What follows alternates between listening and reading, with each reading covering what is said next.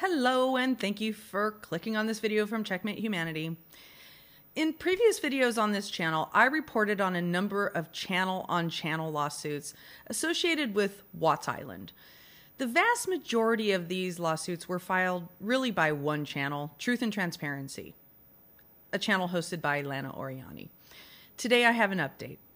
On December 18th, just a few days ago, a judge in Ohio summarily dismissed a $1 million defamation, and yes, I mean defamation, lawsuit that was brought against me by Lana Oriani of that YouTube channel, Truth and Transparency, and who runs a nonprofit called Fight for a Family. It's a public charity.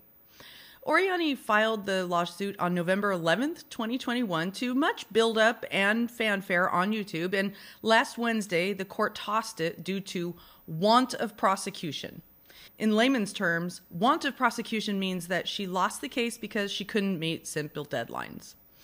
In a minute, I'm going to do a brief walkthrough of her case against me and what the judge means by want of prosecution. But if I was the only person on YouTube that was sued by Truth and Transparency, I wouldn't be doing this video. I'm making this video to talk about vexatious litigation, what it looks like, and YouTube's heavy contribution to it. Now, what is vexatious litigation? First, I'm going to give you the legal definition, then I'm going to show you what it actually looks like to use YouTube towards those ends.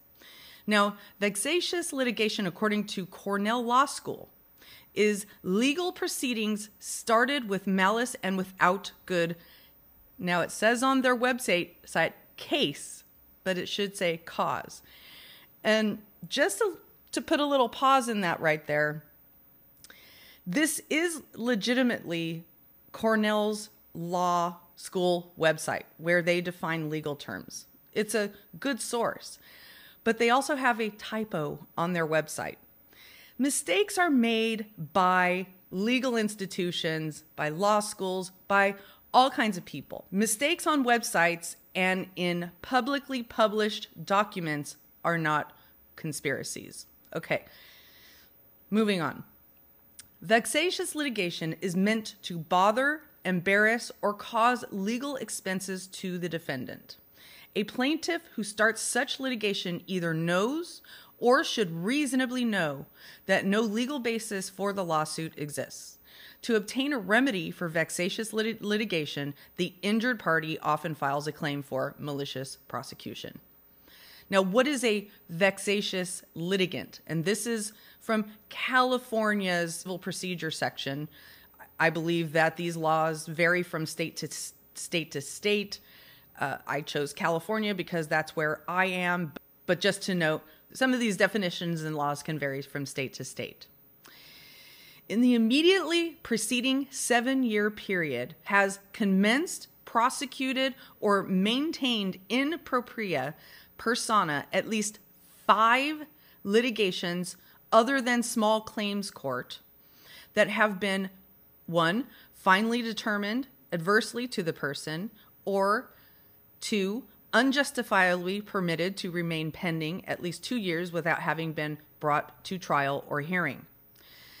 After a litigation has been finally determined against the person, repeatedly retaliates or attempts to retaliate in propria persona either one, the validity of the determination against the same defendant or defendants as to whom the litigant was finally determined, or two, the cause of action, claim, controversy, or any of the issues of fact or law determined or concluded by the final determination against the same defendant or defendants as to whom the litigation was finally determined. So basically saying they keep fighting after a court has made a determination, they continue retaliating upon the person that they already filed against.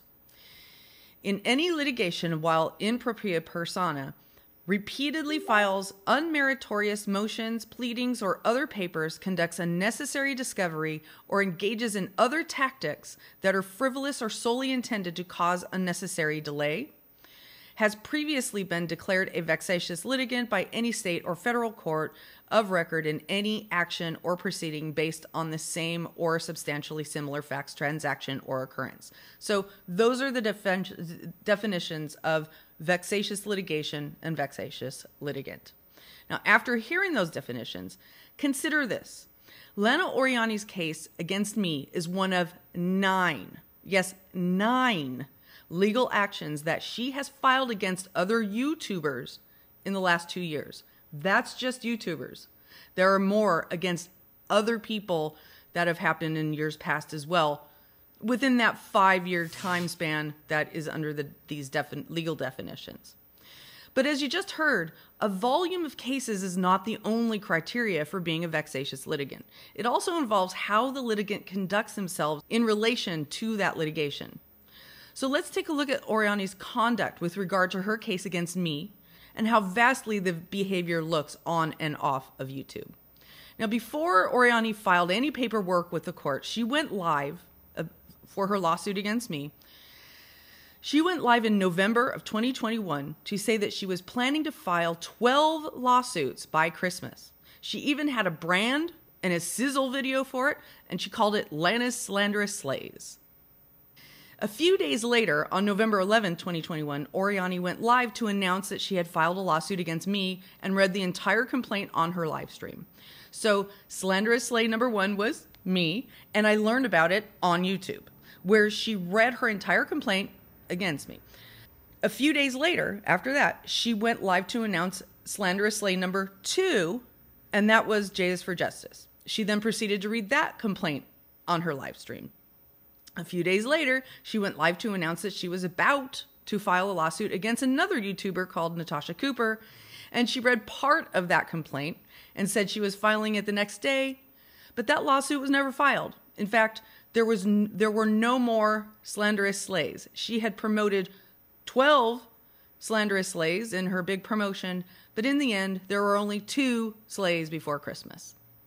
Now, obviously, I became aware of her lawsuit against me when she talked about it on her YouTube channel multiple times. And that's exactly what she intended to happen, is for me to know that. And because it was against me, I accessed the public docket in her county to confirm that it was filed and was able to print out the complaint for myself.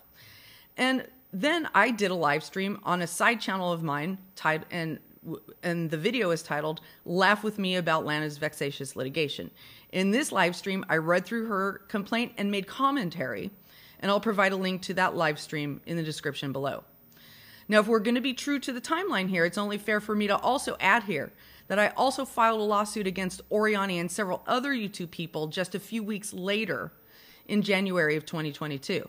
I started preparing this lawsuit months beforehand, but got very serious about it in December of 2021 when the harassment steeply escalated.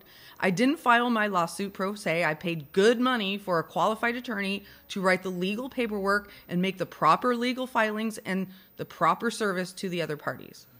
And there's another thing I did differently with my lawsuit. I didn't make YouTube content out of it. I didn't capitalize on it. I did no fundraisers. I asked for no help. I didn't talk about it at all on YouTube. And that's because I didn't file a lawsuit so I could make content out of it. I filed it because I truly felt that I had legitimate legal complaints. And most of the behavior was being carried out on YouTube because of YouTube. Now, I've since dismissed that lawsuit against all those defendants I named because even though I didn't say anything about it on YouTube, the behavior toward me on YouTube changed drastically. And that's really all I wanted in the first place. I just wanted it to stop, and it did. And just be clear, I'm not saying I know for sure that the offensive behavior stopped because I filed the lawsuit. I'm saying that there was a noticeable change in behavior toward me after I dropped the lawsuit. And I didn't feel like dropping any more of my hard earned dollars on legal expenses just to prove I was right, especially when I knew I was right. All I cared about was that it stopped.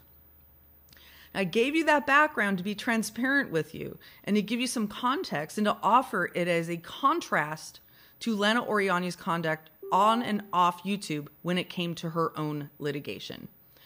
That sets the context for the documents I'm about to read to you from Oriani's lawsuit against me.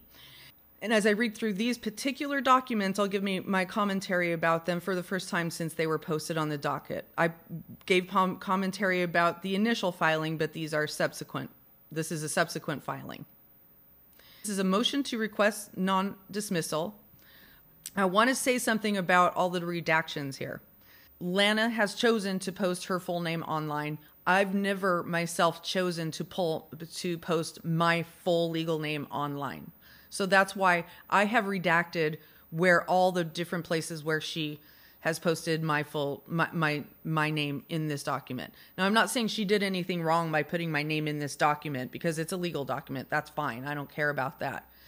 I'm just saying that's why I've redacted my last name out of this document while I'm put it putting it in this YouTube video. As a reminder, Lana Oriani filed her lawsuit against me in November of 2021. It was then upon her to serve me, which means a, a lawsuit is not valid until legally recognized service is completed to the other party. And that is not that is not by sending them an email it's not by sending them a certified mail to their address and just and just hoping that it gets there. It's by making sure that a service processor serves them. Or it's asking the court, "May I send certified mail?" And if they say yes, you can send certified mail, then you still need to show a, a signature from that person saying, "I have received this." That was never achieved in this case because Ms. Oriani never had my correct address and one of the reasons she never had my correct address is because I never wanted this person to have my correct address. I made sure that this person never had my correct address because I believe she would do harmful things with my address. And I stand by that. So she did not serve me, uh, although she was unable to achieve service there were automatic hearing dates set up in the docket. And as the filing party, as the party who was requesting relief from the court, it was her responsibility to to attend those dates and make her case. She did not attend those dates. So the so the judge, the court posted on the docket an order to show cause telling Ms. Oriani that if she wants this case to go forward, she's going to have to show evidence that she tried to, uh, that she tried to do service and uh, and proof of her claims. Now, if you want to go see the uh, original complaint against me, a link in the description below of me responding to her lawsuit. It's where she where she accuses me of defamation. And she makes all kinds of claims about all all these things that I did to launch and launch a defamation launch a defamatory agenda toward her that I conspired with all kinds of people to do to um, create a sex scandal about her But in this complaint document, she makes all these claims without showing any proof. And basically, the judge was saying, uh, you need to show uh, some sort of proof that this case should move forward. And by the way, this judge was was filing this order weeks after she was supposed to show up for a hearing and did not show up for a hearing. So after the judge posted the order to show cause, a couple weeks after, Ms. Oriani filed this paperwork called Motion to Request Non Dismissal. And just as an FYI, as far as I can tell, I've done some research. Uh, there's no such kind of motion in usual legal practice, in procedural legal practice. But let me read this to you. Ms. Oriani is requesting for this honorable court to not dismiss this civil action under the following for the following reasons. One, Ms. Oriani attempted to serve respondent via certified mail to an old address on or about November 12th, 2021. On or about November 17th, 2021, Ms. X read her complaint online to an audience and posted it online through her YouTube account, even though she had refused service. Okay, there are two problems with those two statements that she just made. One is I did not refuse service because she did not send it to a correct address. And number two is she failed to mention that on November 11th, she read the entire complaint on her YouTube channel after heavily promoting that she was going to sue 12 people, including me. So she obviously intended for me to know that she was going to sue me. In fact, she had been threatening to sue me and many other people. So it was impossible for me not to know in practice that she was suing me. But that that the court does not recognize YouTube as a method of service. Okay? Continuing on. Ms. Oriani then attempted to serve Ms. X via certified mail to a to another address, another old address that I haven't lived in for most of my life, okay? On or about January 12th, 2022. She then retaliated with filing her own California lawsuit against Ms. Oriani in January of 2022, where Ms. Oriani had accepted the documents. So she's basically saying, Hey, I accepted service for the lawsuit she filed against me. And she's claiming in this document that I filed in retaliation to her, even though we don't even we don't need to get into argument about that. It was definitely not a retaliatory lawsuit. As Ms. X had retained legal counsel, Ms. Oriani had been in contact with her attorney. However, Ms. X had instructed her attorney to refuse service. Since the public reading online, she has made yet another most recent uh, has made yet another most recent acknowledgement of her lawsuit on December 6, 2022. Even with these online acknowledgments, Ms. X has refused every avenue that Ms. Oriani has attempted to serve her. The attorney I hired in California was not hired to handle the case of Oriani versus me he was hired to handle the case of me versus Oriani et al. For this lawyer to accept service on my behalf in Ohio, A, he would have to be barred, licensed in the state of Ohio, and he would have to put in a, a, notice of representation that he is representing me. None of those things had been done. So the vast majority of this paragraph one plainly rep- misrepresents the situation. Okay, this is paragraph two of her filing. Ms. X has been part of a group of online YouTubers that have participated in Operation Takedown Lana since January 2021. Ms. X has used her YouTube channel to continue her defamation spelled correctly there, and reputation smear campaign.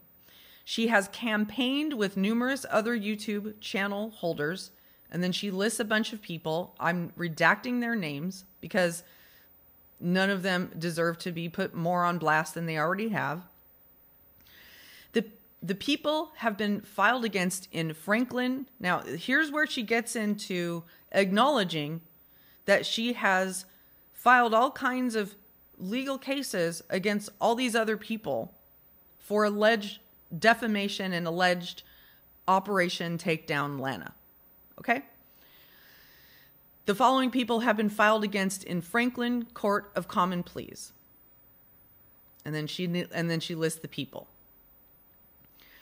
So she's acknowledging and she lists four different people that she's filed against in Ohio. And I think she believes that uh, if she lists all the people that she's filed against, she's proving that she has uh, she has legitimate legal claims against people. Actually, what she's proving to the court by listing all these is that she has a tendency to use the court to, to create false allegations against them. That's my opinion.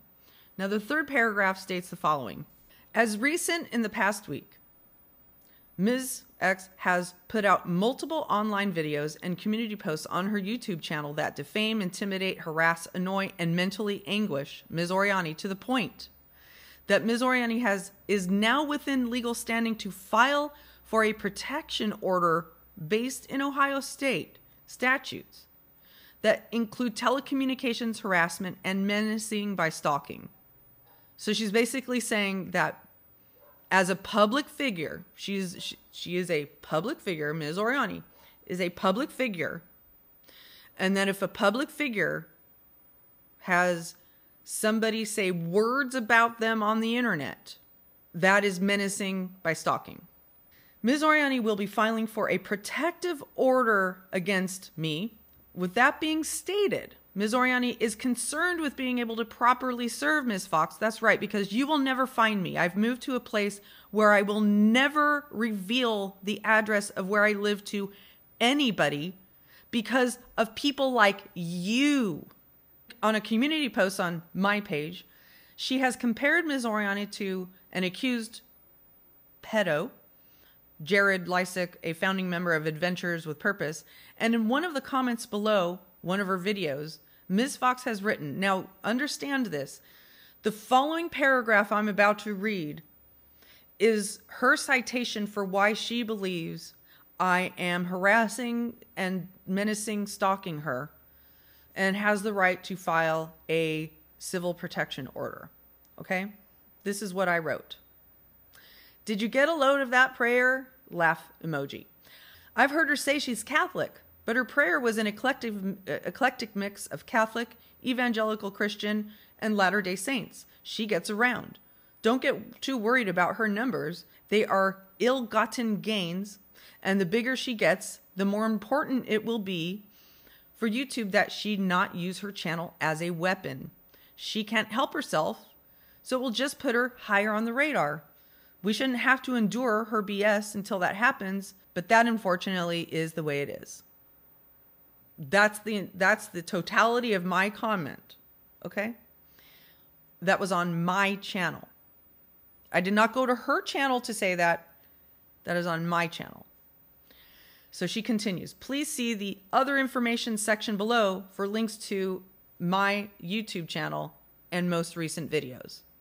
And the most recent videos she links to are videos where I show that she is lying about people in murder cases. Ms. Oriani's above statements show just cause as to why the courts should not dismiss Ms. Oriani's lawsuit.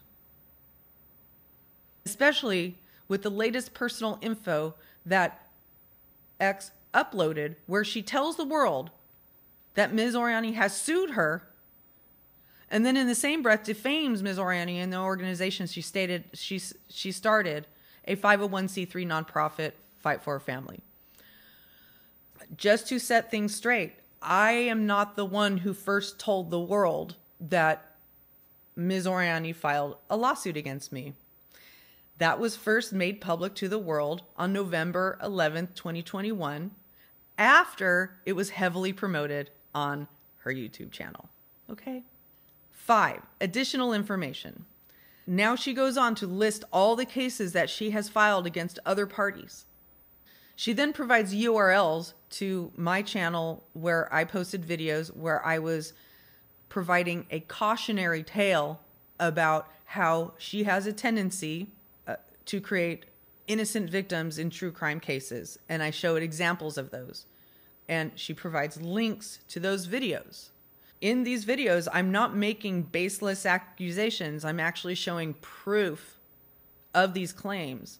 And then in future, in, in a most recent video, I showed definitive proof of these claims. So when something is true and it's proven, or at least there's a very good reason for me to believe that it's true, and I'm not maliciously making these things up, that is not defamation. And as she is a public figure and I have a First Amendment right, it is my right to make those videos. So that was her filing. That is the that is where she two two weeks after the judge asked her to show cause, she says, "Now I want to file a protection order against her and here are all the other lawsuits I've filed." To me, that particular filing shows that she has a lack of awareness of how her actions are going to actually come across in court. Here is the, the, the entry of dismissal. There are three different documents that the court filed in response to her motion to request non dismissal. This is just one of them because they all basically say the same thing, but you catch the, the gist. It says entry of dismissal. On December 2nd, 2022, the court ordered plaintiff to show cause why this case should not be dismissed under blah, blah, blah for her failure to prosecute. Plaintiff had failed to appear for both the November 7th final pretrial conference and the November 21st, 2022 trial. Plaintiff never contacted the court regarding her failures to show. On December 13, 2022, plaintiff filed a response to the court's show cause order. Plaintiff merely recites the purported merits of her case, but does not demonstrate why she failed to attend the critical hearing dates as provided in the case schedule. Therefore, the court hereby orders this case be dismissed, and it is so ordered, and therefore the case is dismissed. I want to remind you that this person makes a living growing her channel by tearing apart word for word every single court document that comes out of a true crime case. Okay? She picks it apart, she scrutinizes it, she acts as if it is the actual official trial document that is going to be used in prosecution. She finds holes, she makes shaky connections, and she represents herself as an authority in the ability to understand how procedure works in a court of law. And yet, she lost this lawsuit essentially on procedure, essentially on the inability to show up and meet deadlines. And I've seen people in her chat say, "You're so amazing, Lana. You should you should become a lawyer." Folks, the stuff I just showed you is basic procedural stuff that any lawyer knows like the back of their hand. It's their muscle memory. If you can't get past that stuff, there's no way you can get a four-year education, pass your pass your LSAT or get a good enough LSAT score to get into law school and then get through all the three rigorous years of law school and then pass the bar where you want to practice to become a lawyer. None of those things have been done by this person who claims to have more knowledge than the lawyers in these cases, than the law enforcement in these cases. She shames the DA, she shames the judges, she shames practically anyone in authority that happens to touch these cases, including the documents that come out. Okay? But in her own case, while she's making a big fanfare on YouTube about what about how amazing she is, even in the case against me and her other opponents, she can't even meet court deadlines. She can't even make a simple case for herself. So, with that, now I'm going to show you a, a, a, brief reel just to show you how much she weaponized the combination of the court system and YouTube really to try to silence me You insane because I filled out an affidavit. So this is on May 29th, 2021, a few days after an alleged sex panel scandal where she was accused of sexual misconduct and she's uh, aiming this message at me and other people that she believes orchestrated the whole thing. Okay. I'm covering my ass and I'm going after your guys' asses now. This will be handled through law enforcement agencies, period. Because, like I said, you're messing with the wrong person. On June 21st, 2021, uh, I had posted a video showing some pretty disgusting behavior, and I entitled it, Don't Say We Didn't Warn You About the Predators on Planet Watts. And she writes, See You in Court, Baby Doll. And on November 3rd, 2021, she writes my channel name and then says other people and then says that we made up her sex panel scandal towards me and says, Get that defense fund going, honey. You're going to need way more than 7K for this lawsuit. I think that was that was uh, aimed toward Natasha Cooper, but she's basically uh, implying that we are all involved and she's coming for all of us. Here she is posting a, a video from my sing from my singing channel and tags me and other people and says read Lynn's own words about me and please go and see Lynn's video from March 15th about my nonprofit. I'll see you in the courtroom, Lynn and Coop. So one um, you know more uh, more threats about the courtroom. Here is her promotional video.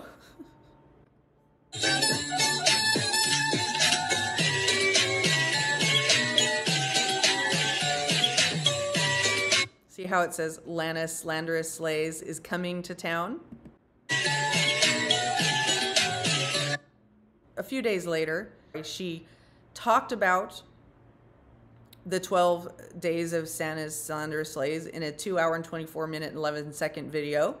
She promoted her slanderous slays and then she read the entire complaint against me in this video on November 11th. And then in December, she continues to promote Lana Slanderous Slays with where, where she reads part of her complaint about Natasha Cooper, but then eventually does not file that lawsuit. And here on her community wall, she uh, writes the names of all kinds of people that have defamed her. So now she's more talking about all these people who she believes have famed her. All these people here, Kelly, Jamie, Ronnie, and Cindy, those are Watts family and friends. She wrote my full name on her channel and then my former channel name. Unfortunately, before I could even get one foot out the door with Fight for a Family, there's about 20 minutes into the video where she reads her complaint about me. And as you can see, she has fightforafamily.com up on the screen. And she starts in introducing the idea about her defamation claim against me um, after talking about her dream of starting a nonprofit and uh, all the wonderful things that she does for family members and taking the tone of that she's been uh, victimized by all these people and and that I'm and that I'm one of them. One night worth of dreaming uh, of these amazing possibilities. The unthinkable and unimaginable happened. my journey begins now uh, to fight for my dreams, my livelihood, the truth, and proper justice. Remember how this ended up. So this she's reading this on November 11th, 2021 She's she's making a very important, impactful, poignant statement about what she's about to do to file this lawsuit. And then she fails to prosecute it. She can't meet simple deadlines. She doesn't contact the court. She doesn't even tell the court that her address has changed until this recent December. Her address had changed well before that, but she didn't tell them until this last December. You can follow these 12 episodes, which begins today, to see how I ended up where I am today. Again, today is one of 12 days that I will take the time to address publicly each civil complaint by reading a redacted copy of the complaint uh, and what has happened to to me over the past nine months is my true crime story.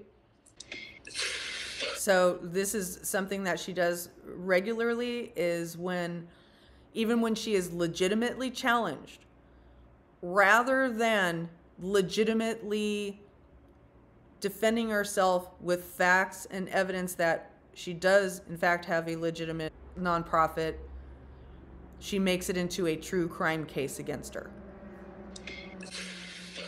In the Franklin County Court of Common Pleas, Columbus, Ohio, Lana Oriani plaintiff versus to be held redacting here, Miss Lynn.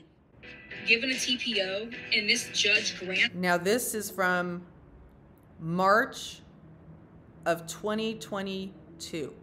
Okay.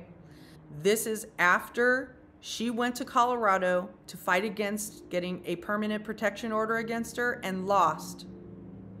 And she went on her channel and said this A PPO out on me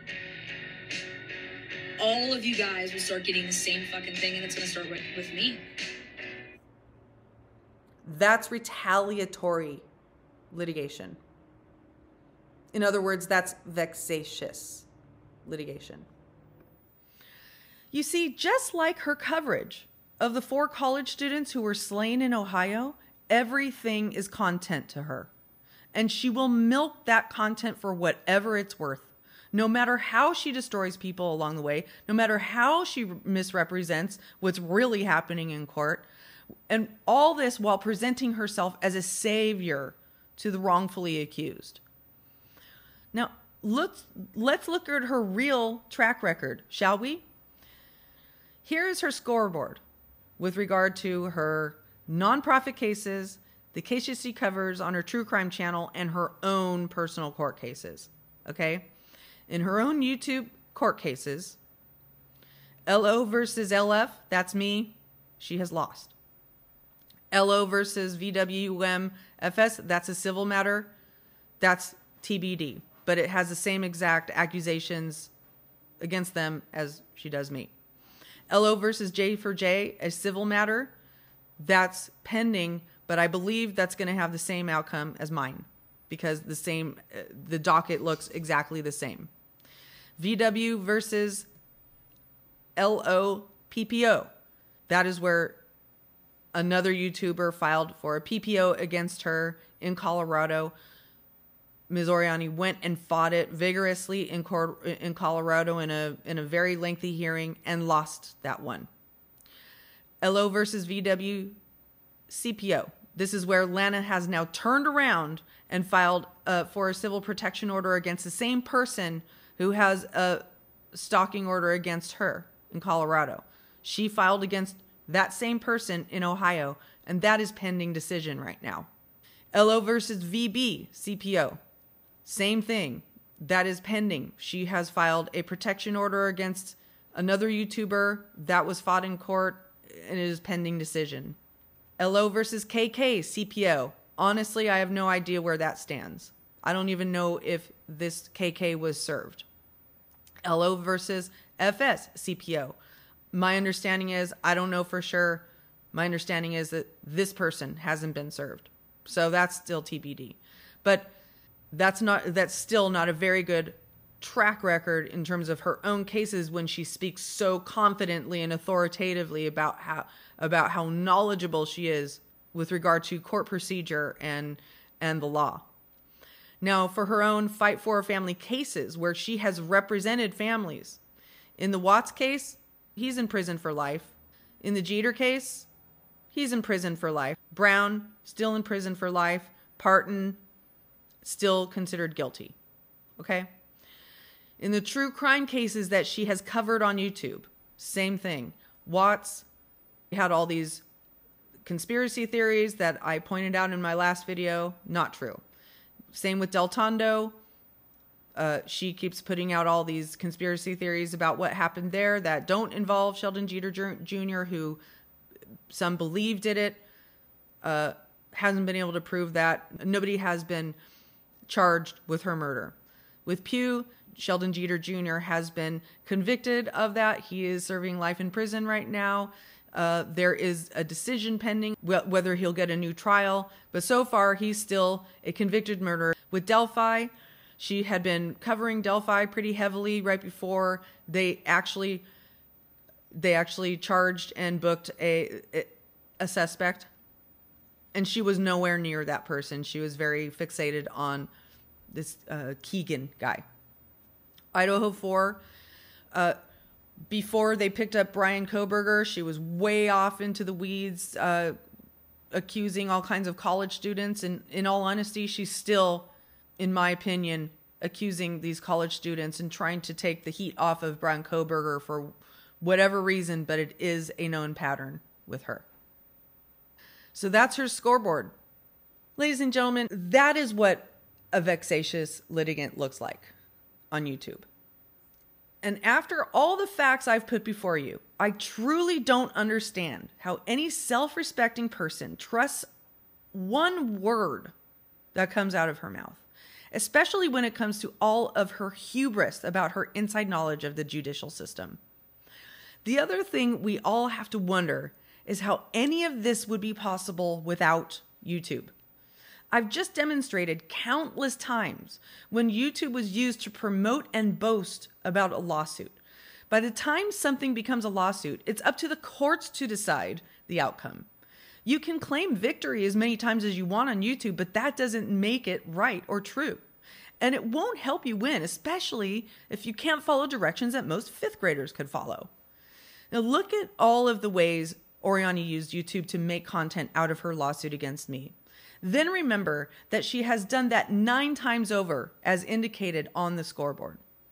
I'll let other people tell their own stories about it, but and when we talk about vexatious litigants and how they behave behave after a court has has made their decision, after the court in Colorado made their decision that she had a permanent protection order against her, Oriani continued continued her behavior on YouTube and continued to create extremely disturbing content about that other YouTuber. She re- and she has, in my view, retaliated against that other YouTuber by filing a civil protection order on her, which was just heard in court and pending decision. So we'll see what happens to that. But in my view, that fits the, the definition of a vexatious litigant when you're filing all kinds of lawsuits, you're posting content on YouTube, and you're retaliating when the decision doesn't go your way in court. None of this would have been possible without YouTube's rage hungry algorithm and its inability to enforce its own terms of service. In my opinion, if YouTube wasn't such a powerful and profitable weapon, half of this wouldn't be happening. Some of it would because sadists be sadists, no matter where they go, no matter what tool they use. But without YouTube's help, they wouldn't be half as effective. They wouldn't have a fraction of the audience and they couldn't make a dime off of it. For now, it's too damn easy to profit off of the pain of true crime victims, so it will keep spiraling out of control until someone puts up a goalpost. It's either going to have to be YouTube, it's going to have to be the courts, or it's going to have to be both. But until that happens, we're all exposed to the possibility of some vexatious litigant coming along and doing everything in their power to disrupt your life. I made this video to show you what that looks like. And whether you take it to heart is up to you. But if you get caught up in some drama on YouTube and don't watch for signs of vexatious litigation after watching this video, all I can do is wish you Godspeed. Peace out. Please be kind. And remember to like and subscribe and consider becoming a member. Thank you very much.